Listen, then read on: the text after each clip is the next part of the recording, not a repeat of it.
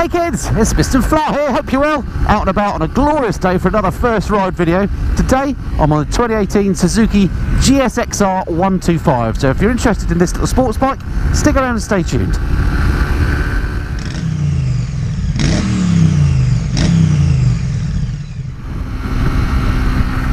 So time for another of my uh, first ride videos and one of the uh, categories of bikes that I like an awful lot and uh, you'll already know that if you watched uh, many of my videos before are the smaller bike categories. What I like about them is the fact that you can use all the bike. So uh, when I say smaller bike categories I mean anything up to about 400cc machine. Today I'm at the uh, lower end of that cc range if you like on the 125. the sort of entry level first sports bike you might want to buy from Suzuki for example. Uh, other manufacturers do similar bikes, uh, Yamaha and Honda also have 125 sports bikes. But this one, Suzuki claim, is has the best power to weight and power to torque ratio of any of them. Now of course that's uh, quite a statement because of course they don't have a great deal of power being a 125 or bags of torque. It's a bit like saying you're the fastest tortoise in the uh, in the world. But nonetheless, uh, when you haven't got a lot of uh, power to play with, and these put out something like 15 brake horsepower, then if you can cut down the weight, uh, then that's going to make for a more fun bike. And I have to say, I haven't been riding it for that long so far. This is my first ride on the bike. Uh, but it does feel very light, and as a result, very flickable, very manoeuvrable. The handling on it is really, really lovely. So let's go through some of the practical aspects and the things that immediately strike me about the bike. As I say, I've literally been on the bike for 10 15 minutes so far and this is really just a first impressions review. And uh, the practical things that you notice about the bike number one is this LCD screen on here. It's really nice actually. It's really clear and it's got absolutely everything you need on there including a proper fuel gauge on the right hand side and a gear position indicator which I like. There's no problem with the clarity. It doesn't look like it's been ill designed it's got uh, rev counter at the top. And uh, yeah I just really like that. I think it's neat that uh, I think that embarrasses some of the much more uh, sophisticated motorcycles I've ridden. So that's really nice. The next thing you notice is the uh, great view out of these mirrors. The mirrors look sort of stalky as they often are on bikes with fairings but there's absolutely no vibration in the mirrors whatsoever. And I can see behind me beautifully well which is what you want mirrors for obviously. You know sometimes on single cylinder engines you do get a lot of vibes and the uh, and the mirrors shake, rattle and roll, but uh, these are absolutely solid. And whilst on that same subject, it is a single cylinder engine, yet I'm really not feeling much in the way of vibes. It really is quite smooth. I don't know if Suzuki have done some clever things with counterbalance shafts and things, but compared to, for example, my Honda CRF, which is a 250 single, this thing just doesn't have any vibrations at all. It's really smooth. It's lovely. So riding position then is quite sporty. Uh, I'm five foot eight, so a sort of medium-sized fella, and the bike feels quite small to me. You can move back on the seat, uh, which obviously helps, but uh, I think if you're a tall fella, or lady for that matter, you might find the bike a little bit cramped. You are in a sort of sporty crouch position. Great fun just revving the what sits off this. Um, you are in a sort of a sporty crouched position. If you want to be, you can tuck right in to maximise your speed. But also, um, you know, the handlebars are quite close to your knees, if you like.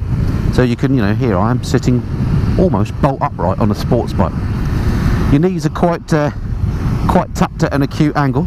So it does feel like a sporty ride. And with these uh, clip-on-esque handlebars, you know, it does feel the business. The seat itself is quite hard. But overall, I wouldn't say the bike is uncomfortable. Hello, the Rozzers are out in force. Hello, hello. Not nodders. The Rozzers aren't nodders. But the handling is, as I say, surprisingly nice on here. Sticks to the corners beautifully. It's got Dunlop tyres on here, and it's a lovely warm day. So lots of grip. Oh, more police, what's going on? lots of grip about but it feels great anyway whilst we're on this uh, bit of dual carriageway I can afford to wind up often people ask me on this small bike what is the top speed so let's get to top gear which is six tuck in. There we go. There's an indicator 71 72 74 now. Just about to go uphill. Flat out nothing behind me. Flat out and tucked in. 76 77 uphill now. So an indicated 77 miles an hour uphill, flat out when you're tucked in. Oh, saw 78 there. Which actually is ample, isn't it? I mean, I don't recommend you go around riding flat out on any machine. But uh, if you do find yourselves on these faster roads, this bike now look, I've got enough power to overtake slower vehicles, which is great. The brakes seem absolutely fine on here. I mean, it is a light bike, so they don't need to be stonking great bike brakes, but they seem to work absolutely fine. And when you wind it back up on these faster roads, I have to say the weather protection is pretty good on here. This fairing really does work, particularly when you tuck down. The air just goes straight over my head. I've got no buffeting and not a lot of noise. So, yeah, I think a, a big thumb, thumbs up as far as the bike is concerned at the sort of top end of its power spectrum. It's perfectly usable on, on these faster roads. Ah, first fan of the day, excellent. So there's uh, nothing behind me for a little while. I'm just going to check the back brake. Actually, the back brake seems quite effective. No problems with the brakes. Suspension wise, it's uh, obviously it's very budget suspension. It's non-adjustable. You just get what you get. And I suppose it's set um, if there's sort of a, a line with hard at one end, soft at the other. This is set slightly towards the harder end, which I guess you would expect for a sports bike. But I have to say, so far, it's not got too badly out of control. It feels quite nice. It's not so hard that it sort of jars your fillings out your head, but it is, uh, you know, hard enough that, as I say, the handling is, is really nice on it. Partly, I think, because of it's really lightweight, but uh, you know, the suspension seems completely adequate for the type of bike that it is. Now, for a small bike, which is uh, obviously built to a budget, it's got some uh, quite impressive features actually. Number, I've already mentioned the uh, the display that I really like. But one of the other things that I've not seen on a bike of this capacity before is it's got keyless ignition. Look. So I've got the key fob in my pocket and uh, you know it works as keyless ignition works. So not something I've ever really thought was a brilliant uh, invention to be fair. It's one of those um, solutions to maybe a problem that doesn't exist. But nonetheless, the fact they've got keyless ignition on a bike of this capacity I think should be applauded. It's also got quite a sophisticated Bosch ABS system and uh, I'm not sure whether Suzuki put it on because it's uh, because it is sophisticated and the bike needs it. I suspect they'd rather put it on. It's a it's a Bosch one by the way. Did I mention that? They put it on because it's uh, very very lightweight and again it keeps uh, keeps the weight down and means that uh, Suzuki can continue to make that claim against the competition that this is the the best power to weight ratio in its class. Oh, I have to say overall I'm very impressed with this little 125. I expected it to be really quite uh, lackluster and uh, you know have no go at all. But when you wind her up she goes fine. Handling's beautiful. And uh, it doesn't really feel like a 125 it does feel like a proper sports bike. I sort of assumed it'd feel like a very slow bike just with sports bike kit on it. But no it does feel like the real McCoy. It looks like the real McCoy uh, as well. So uh, in a minute I'll find a little spot and we'll do a walk around and I'll show you the bike from the outside. Need to get rid of this van. Perfect bike in traffic. If you want a little commuter machine to weave through traffic on your way to work of a morning. This would be brilliant because it feels nice and narrow. It's very light and you can get your feet down on the deck really really easily. So it's a practical uh, machine to get you to work and back every day and have a little bit of fun on and to save money. Well is this better value than getting a train ticket or what? As I mentioned earlier the uh, engine is as smooth as you like for a single but in terms of its noise uh, Suzuki have done a top job in quietening it down. When you're rolling at these sort of normal driving speeds what doing 50 miles an hour here in a bit of traffic then really all I can hear is wind noise through my crash helmet. There's not much noise from the engine. So although the uh, exhaust on here standard looks kind of cute I think I would uh, I and probably every other buyer of the bike would possibly get an aftermarket can just to give it a bit more sound a bit more oomph. I know it sounds silly but uh, it's ridiculous how much more powerful a bike feels when you have a louder exhaust on it. I know that's juvenile, but that's just how it works. But if you happen to like really quiet bikes, then this is for you, because listen, you can barely hear it. One thing I'm not so keen on the bike when you're sitting upright and you're looking down at the, the bike in front of you is, uh, is the yoke.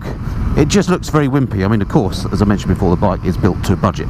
So they're not going to put, you know, amazing um, hardware on the machine. They can't afford to. But that, to me, that black yoke just looks a bit flimsy. as do these handlebars.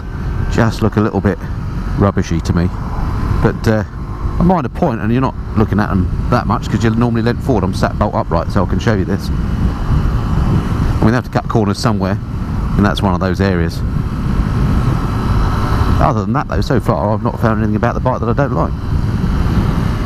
Clutch on the bike is lovely and light, as you maybe would expect. I mean, this is a brand spanking machine, so it should feel good, but yeah, the clutch is lovely. And the gearbox, nice and positive. I haven't had a single forced neutral or any trouble finding neutral. Overall, the riding experience feels much, much more like a bigger bike or a bike costing a lot more money. There's no, it doesn't feel like it's lacking in quality other than that top yoke that I mentioned about, but the riding experience itself is top quality. Having whinged a bit about the quality of the yoke and the uh, fit and finish of the handlebars. Oh, hello, another Hello, sir. No, not a nodder. Um, they're never nodders anymore, are they? I don't know.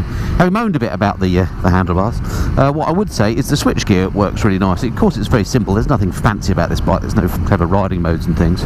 So there's not lots and lots of switchgear. But that that's here works really nice and positively. It's in the right place, so the horn and the indicators are where they should be, unlike on some Hondas, for example. Uh, and yeah, it works, feels really positive. So, yep, thumbs up for the switchgear too. Alrighty, let's uh, pull in at the pub car park over there and we'll do the walk around in the usual way. Easy to find neutral. Dinky little stand that comes down nice and easy to find and to turn her off. The usual thing. And then the keyless to the middle middle bit there. While that blue light's on that shows it's active that goes off after a while and then you wouldn't be able to start it. Uh, I'll show you how that works in a second. Alright here we go then the uh, GSXR 125. Now this particular model, as you can see, is in black, which is probably my least favourite colour of the models that they do. They do the they do it in white and they do it as the race rep blue. And I think uh, if you're going to have one of these, then the blue is the way to go. But in terms of the styling of the bike, if you ignore this colour, which as I don't like, the styling is bang on. It is properly GSXR. It looks like a GSXR looks. Um, maybe mated with the old Triumph Daytona, the way the uh, the way the front looks. But I think it looks really good. Anyway, let me get the uh, the phone out and uh, we'll do the walk around and I'll talk you through the spec in the usual way. Okay, here she is then, uh, the GSX R125. Uh, let's start with the important stuff. So the engine, as I mentioned, single cylinder liquid cooled unit, 124cc, uh, four stroke fuel injected. It being a Suzuki, I suspect it'll be absolutely bulletproof. Puts out 15 PS, which uh, I checked on the internet works out at 14.8 HP if we're being pedantic. At 10,000 RPM. You really do have to rev this thing up, it has to be said, to get the best out of it, but that's part of the fun. Um, MCN, when they tested, got 72.7 miles per hour of it, miles per hour out of it. Uh, I guess that was GPS verified. As you saw, I got a bit quicker indicated earlier. Uh, so certainly it's good for at least 70 miles an hour. Torque-wise, 11.5 newton meters at 8,000 RPM. So not huge numbers, of course. It is just a small bike, but it doesn't feel wimpy and underpowered. It feels like a proper sports bike, as I mentioned earlier. Uh, let's look at the brakes. Uh, we've got discs all round. Um, they are quite small and thin, as you can see, but that's all you need on such a lightweight bike. Uh, and now you can see the ABS ring as well, which is the, uh, the as I say, quite a sophisticated Bosch system on here. Uh, and on the rear, got a little disc on there as well, and we can see the fairly basic swing arm but they all work well. Suspension, as I mentioned, nothing special, uh, non-adjustable, uh, right way up forks for a change, uh, but they seem adequate for the bike. Doesn't really get out of shape until you really get onto bumpy roads and push it hard around corners, but uh, I've uh, I've found that completely adequate. Uh, seat height on here is nice and low, 785 millimeters, so I can get my feet on on the deck, no worries. I'm five foot eight with a 32 inch inseam, and there's absolutely no worries with the bike height. Weight-wise, 134 kilograms. I don't know if that's wet or dry, I suspect dry, but any, either way, it feels super light. My goodness, there's a bike that needs a tail tidy, look at that. Tank capacity, it'll only hold 2.4 gallons, but uh, it will do a claimed 122 miles per gallon. I don't know who's going to get that out of it, but certainly you could probably get near three figures out of it, so you're going to get a good range. Electronics wise, uh, it's got the Suzuki Easy Start system, which is basically when you press the starter button, you only have to dab it and it will start. You don't have to hold it until it's actually started. It has the keyless ignition that I talked about. Uh, it's got the nice little LCD um, panel and the ABS as I've talked about. And that's pretty much it. Price on the road £4,099 according to the website. That puts it slap in between the competition which is the Yamaha YZF 125 and the Honda CBR 125. It's a little bit more pricey than the Honda, a little bit less than the Yamaha. You can get various accessories for it. There's an accessory pack costs another 239 includes things like a seat cowl, a double bubble screen, a tank pad, hill plates, things like that. Okay, so that's uh, that's basically it. Before I uh, put the phone away, let me just show you a bit more about this. Um, uh, what's it keyless ignition uh, so this is obviously the keyless ignition area what you do is you uh, you press it to bring it alive turn it to that side there and then you just press the easy start button and the bike starts absolutely fine. And I've got the key fob in my pocket and there's that uh, LCD screen that I was raving about. And then the unusual thing or the slightly different thing about the uh, keyless on this if I turn it off which I'm going to do just by turning it what you can do is if you need to uh, access under the seat and stuff you need the key you literally just turn it to that part there and you can pull this out and you can see there you've actually got a key isn't that wild? And it just so goes back in again. And then if uh, if the fob's away from it you can't pull this out. So uh, yeah quite clever that. Anyway there we go. All right then. That's the uh, that's the walk around. Let's jump back on and get this puppy home. All right and uh, just to show you my feet look I'm sat on it bike upright both my feet flat on the deck. Alrighty let's get this show on the road then. Turn that again press that look at that. We're off it. Even had two goes at it they're very clever that. All right. So when I say uh, get this puppy home that is because I'm very pleased to say Suzuki have uh, lent me this bike as my next long termer I haven't got it for too long. I've just got it for a couple of weeks or not even quite a couple of weeks. So I'm not going to be able to do a extensive living with type review on the bike but uh, I'm going to be able to get to know the bike a little bit better than if I was just doing a test ride see if I can do a little UE here. Yeah turning circle is nice on here. So if you're interested in the uh, little GSXR 125 do stick around and stay tuned to the channel for more videos coming on it soon. But certainly on this first impressions review I have been very impressed with it. It's smooth to ride. It uh, feels like a proper sports bike. It's well equipped. Everything works nicely. At the moment I can't really find much to not like other than maybe the fit and finish of the, at the yoke here but that's a personal thing Okay, that's it for now. Hope that's been of some interest. I look forward to speaking to you next time. Until then, this has been the Missenden Flyer. Cheerio.